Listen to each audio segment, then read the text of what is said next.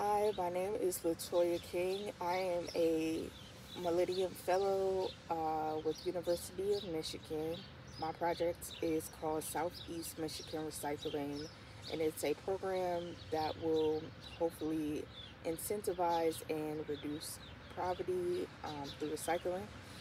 Um, it is planning to be centered out of Detroit, Michigan, USA, and the goal is to provide a small profit for recyclables, um, plastic, paper, uh, glass, and metal. There are other similar programs. I got the initial idea from waste bank programs that are active in Indonesia because of their increase of illegal um, waste dumping, which is something that they do in Detroit, Michigan, USA also.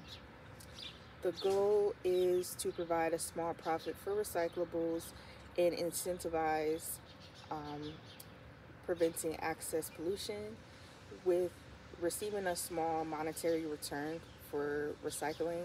I think it would help reduce littering and the pollution that is in the city.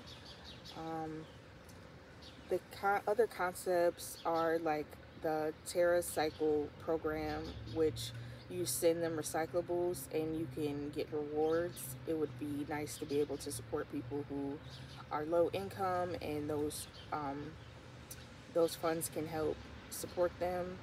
And then there's also reverse vending machines in America where you can put your bottles in a machine and you get a refund. I think it would be useful to have a community involved program where they're a part of the process. Um, the things I need to do are to work with waste collectors and companies that use sustainable materials. A lot of companies here, um, a few of them advertise supporting uh, returning materials for monetary value, but they don't respond or, you know, say that they only work with corporations and not with individual consumers. So I'm working with um, my school and also my Amna Ladder Community College um, to hopefully get to some resolve with that. Some things I learned through the Millennium Fellowship are um, just sharing my story with others and trying to make my goals more realistic by breaking them down.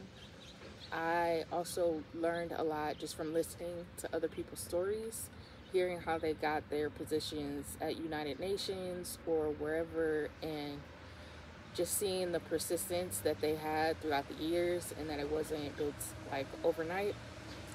I would recommend to future Millennium Fellows if you are selected to just take the opportunity wholeheartedly because this is a good experience. It's it's helpful because although in America we might have access to certain connections a little easier, it's different when you want to do things on a global scale.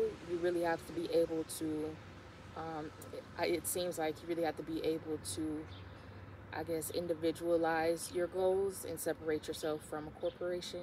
So I think that was like the biggest thing I got from the fellowship. Thank you. Have a good day.